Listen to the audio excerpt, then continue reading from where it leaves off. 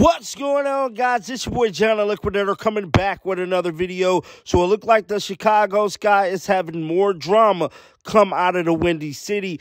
Guys, for this one here, we got to go all the way up to Chicago. Let's get it. Let's go.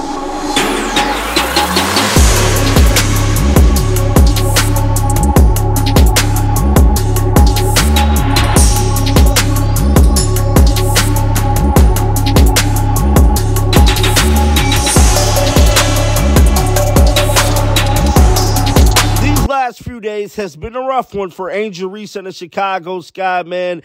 It was not a good look yesterday without Chennedy Carter being out there. They simply got the beast put on them by Brittney Griner and the Phoenix Mercury. I just got to keep it real. Now, there has been a lot of drama transpiring online between Carter, Angel Reese, and this team. A lot of stuff been said on Twitter. We know it all sparked off over the Unrivaled Basketball League. Then it continued over with the ESPN dropping the top 25 WNBA players. Whatever the case may be, they really need to get this situation under control because it could be sparking other drama on the team because none other than Angel Reese teammate Dana Evans had to go to Twitter last night and she erupted on fans, letting it be known her and Kamilla Cardoso do not have any issues. She stated, Y'all find anything to drag my name in, and it's getting weird. LOL, me and Kamilla is good. Stop trying to stir up bull ish. So she letting it be known that her and Kamilla Cardoso relationship is good. Now, fans has been, you know, retweeting a bunch of these Chicago Sky players. I don't know if they trolling them or what, but at this point, these professional athletes do not know how to handle the pressure, bro. I just got to keep it real. This is a professional basketball league. Your name is to be trending in the media. This is what you signed up for. Now, she replied to tweets as well. She stated, I was getting tagged stink butt. So she is is definitely going on the attack when it comes to trolls or supposedly Chicago Sky fans. I don't know. But me personally, I feel like this is not a good look, bruh. You as a professional athlete, you indulging in Twitter drama right now, and your team is losing.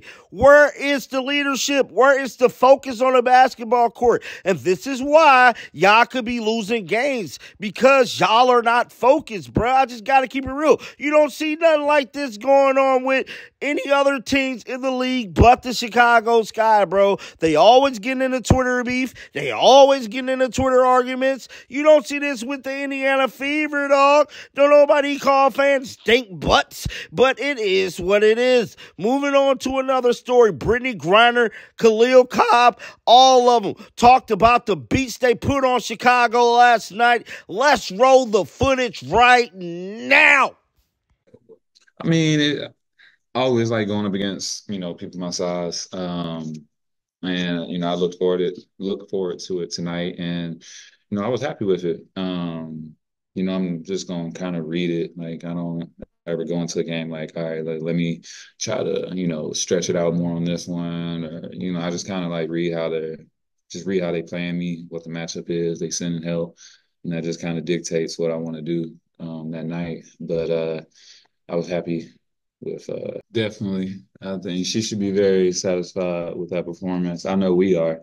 Um, she was locked in from the jump. I mean, she's been locked in since I mean being over in Paris. So uh, we all know what she can do.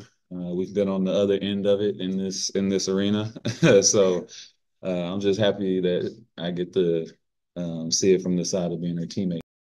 I I got I got to get a defensive player of the year. I need come on, it's it's it's it's never ending. It's never ending for me anyway. But um, the sky is really the limit. Ha ha. talk the last 24 hours was uh, obviously about Carter and then just you know, we didn't know how it was going to be without Mabrey. Um, just because all the film we've had was with her, and then um, obviously with Carter out, uh, at that point it was just like we we got to make this more about us and our execution and our focus defensively. And I thought our group bought into that. Uh, coming back from the break, um, you know, one thing she wants to get better at is the drive and kick stuff, and uh, you know, she probably can tell you she had some discussions with some high NBA, high level NBA guys and, and what they see. And, um, you know, she's still trying to evolve. Uh, when she's willing to share it, now they have a decision to make. And um, she did a great job along with, with Tosh. You know, those are the two that play downhill for us and they're just so important for our offense. Um, one of the things we've talked about in in uh, over the break was trying to get her at the the ball at the elbow more, just because she is such a, a really good passer. And then you know, in the post, teams have a decision to make, and uh, that's now she. BG, I'm just talking about you in here. I'm just talking about you in here. So she did a great job passing the ball all night, but I was really proud of her defense.